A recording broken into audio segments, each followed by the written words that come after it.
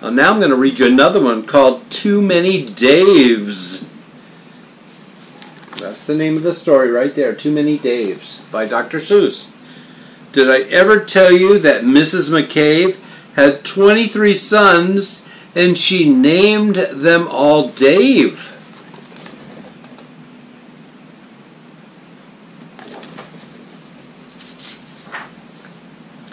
Well, she said, and that wasn't a smart thing to do.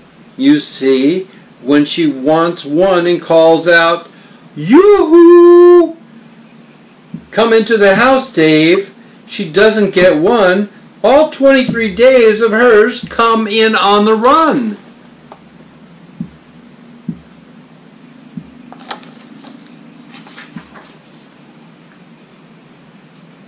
This makes things quite difficult at the McCaves, as you can imagine with so many Daves, and often she wishes that when they were born that she had named one Bodkin Van Horn, and one of them Hoos Foos, and one of them Shim, and one of them Hotshot, and one Sunny Jim, and one Shadrach, and one of them Blinky, and one of them Stuffy, and one of them Stinky, and one of them Put Put, and another one Moon Face, another one Marvel O'Gravel Balloon Face, and one of them Ziggy, and one of them Soggy Muff, and one Buffalo Bill, and one Buffalo Buff, and one of them Sleepy, and one of them Weepy Weed, and one Paris Garters, and one Harris Tweed.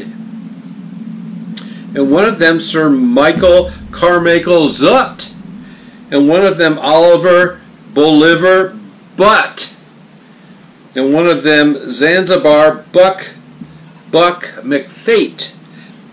But she didn't do it, and now it's just too late.